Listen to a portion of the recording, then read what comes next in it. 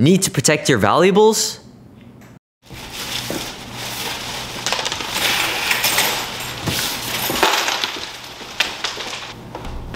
Help! Thief! Thief!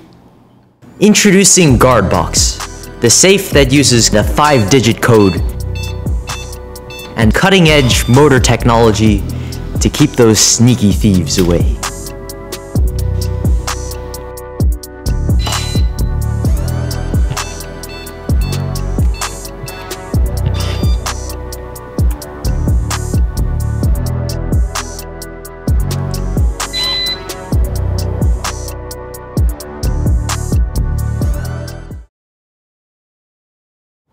To open GuardBox, enter the right code on the keypad. Then, press the unlock key.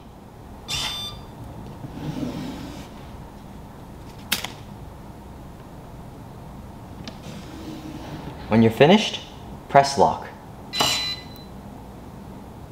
When locked, you can't open the door because this motor stops you. If you enter in the wrong code, it won't let you in. If you enter in one key wrong, you can go back with the delete key.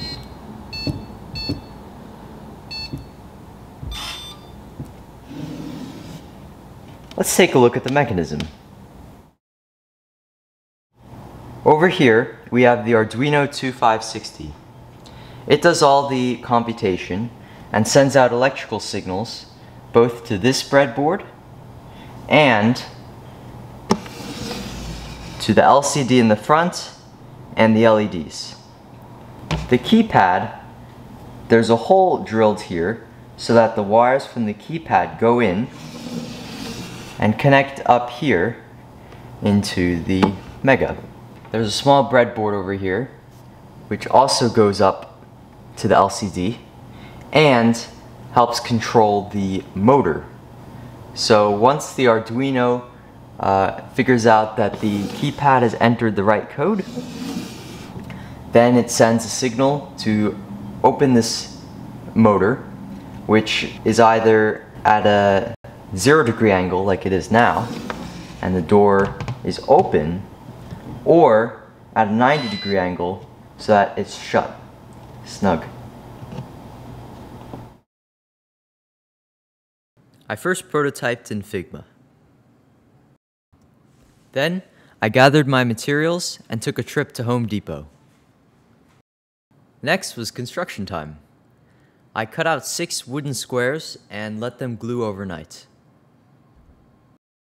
Lastly, I coded the Arduino, which is on GitHub, and put up the components.